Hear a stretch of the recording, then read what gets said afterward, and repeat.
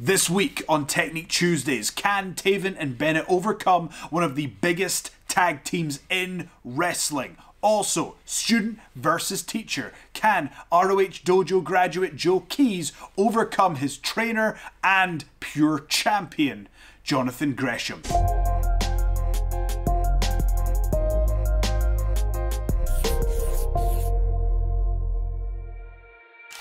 First up, let's take a look at the pure champion, Jonathan Gresham, defending his title against one of his own students, one of the graduates from the prestigious Ring of Honor dojo, Joe Keys. And the code of honor adhered to. Gresham with the experience edge, but Joe Keys no slouch. Like you said, Caprice, this is a man who's an accomplished wrestler on the independent scene in that 2019 Top Prospect tournament. Now, I usually talk about just the techniques in the matches, but every so often you see something from one of our pre-match interviews that's so profound that it has to be discussed. And this week, that's Joe Key's interview. He convinced me, the fans, his peers. He let everyone know that Joe Keys is here to stay. He's passionate about wrestling and he believes in everything that he is doing in that squared circle. If you haven't seen that interview, you are missing out. But that made me want to see this confrontation.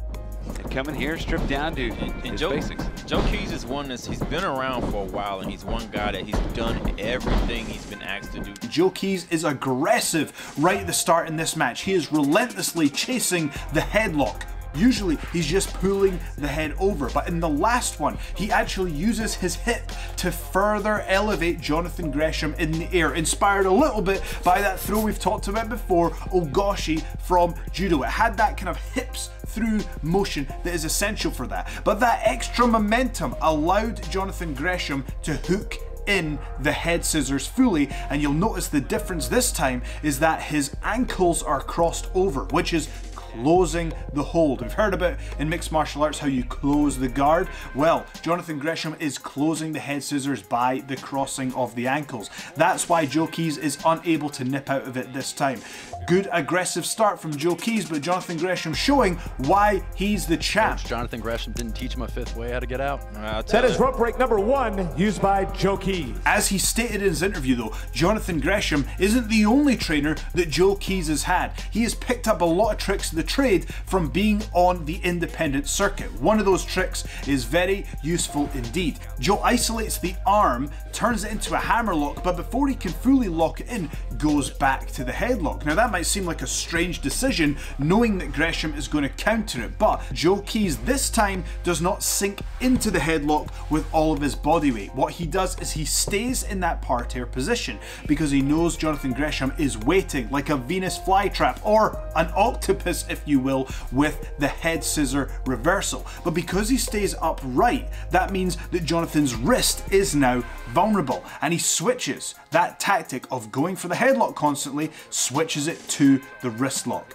Very impressive from Joe Keys, and now he's got control of the wrist and goes to the double wrist lock. Gresham to the mat, maybe just a little bit stronger. Jonathan Gresham is the master of adapting to any opponent in any situation, however. If we advance forward a little bit, we look at this trade of strikes back and forth between Joe Keys and Jonathan Gresham. It's forearm, forearm, forearm, forearm. Well, at this point, it becomes a point of pride. It's who can deliver the strike harder, who can take the pain. Well, in this situation, Gresham is one step ahead in this game of chess. Here, blocks the clothesline though. Gresham sweeping Nice. the leg, sweeps the arm. Full head of steam, Ricky Steamboat style arm drag. Jonathan Gresham, he goes low with a sweeping back kick, dropping Joe Keys to his feet, and then we see him hit his trademark kick to the arm that is absolutely painful and you can just see the recoil. The icing on the cake is a huge deep arm drag. He rushes in, snaps that arm drag and now Joe Keys, both of his arms are in jeopardy. How much of your offense is in trouble when both of your arms are in pain? Wonderful strategy from Jonathan Gresham. This might be my favourite move of the match. Gresham charges him with a huge chop. Joe Keys drops low, reverses the Irish whip into the corner, and as Gresham comes back, Keys catches him for what we would call a small package roll up. Gets the momentum. It's a Nice. great a small package. No, back to his feet. Look at the power of Keys. Beautiful but instead of sticking with the pin, he actually uses the momentum to roll all the way through and carries through with a deadlift, a very impressive deadlift to turn it into a suplex and drop Gresham to the mat. Wonderful control and impact from Joe Keys.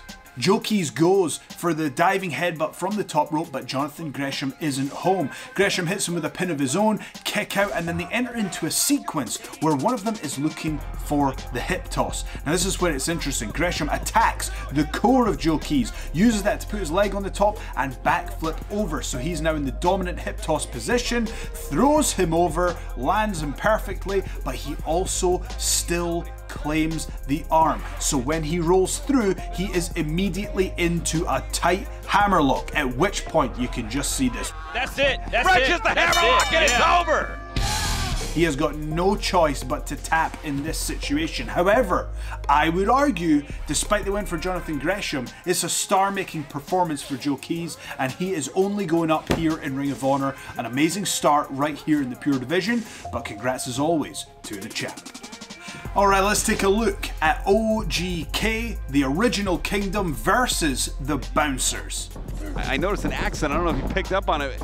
Brawler Milonas, trained by Killer Kowalski in New England. Wow. Oh, right on that ankle. That's Yeah, an early yeah. test. And the first thing I want to talk about is tag team synergy. After some impressive displays of size and strength from Brian Milonas, you see the bit where he just throws him off that headlock. Shortly after, Mike Bennett is able to use his speed to claim the headlock on Brian Milonas. Now, this is where the tag team synergy comes in. Lock here from Bennett. Barely, barely tall enough to grab the the headlock. tag? Tag made by Yeah. Taven. Ducks the right.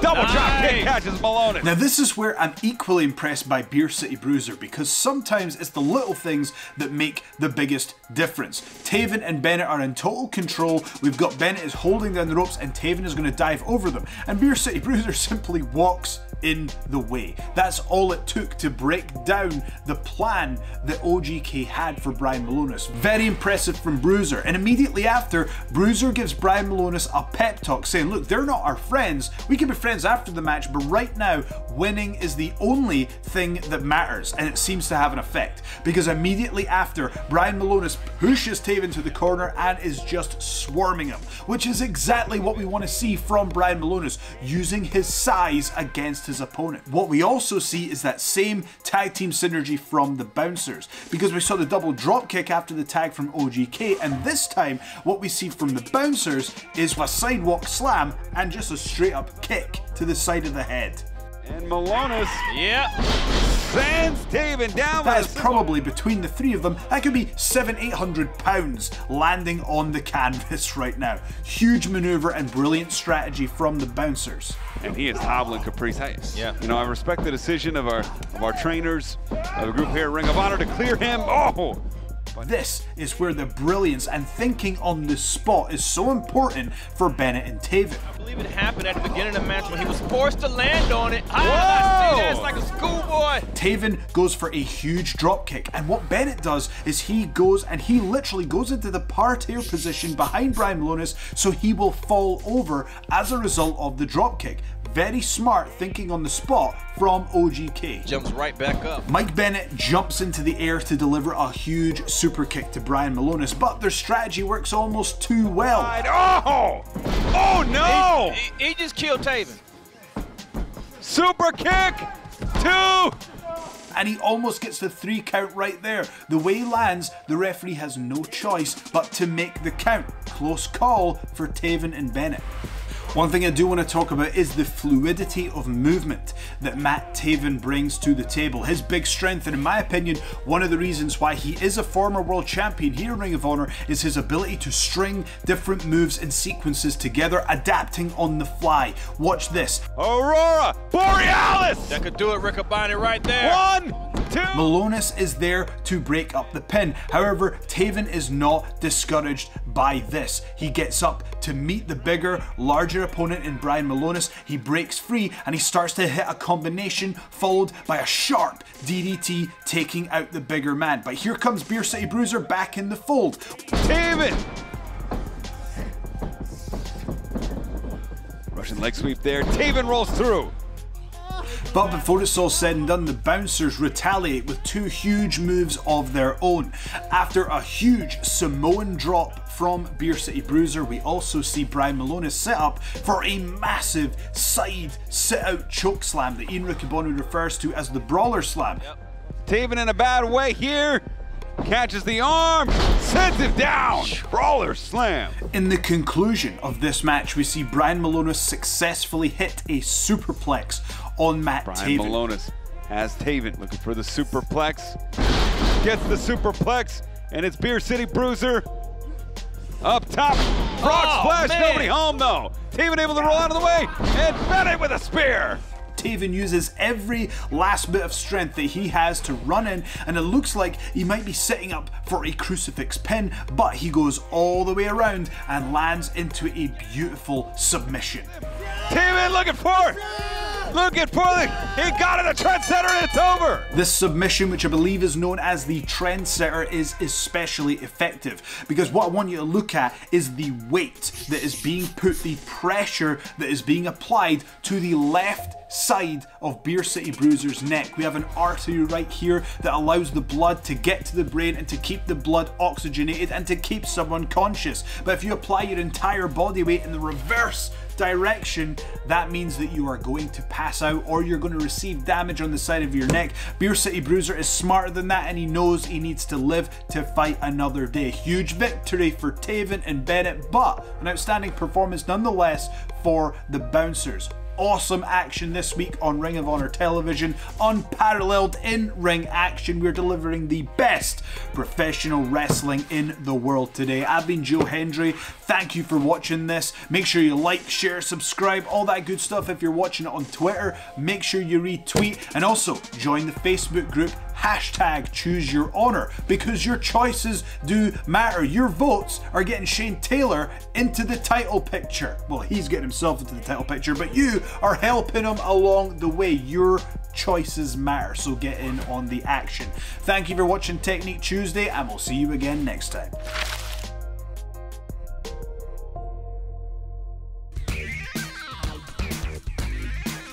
2021 is a new year, a fresh start, and Ring of Honor wants to know about your dream matches. Yeah, who do you see challenging for the Pure title? What feuds do you think should continue?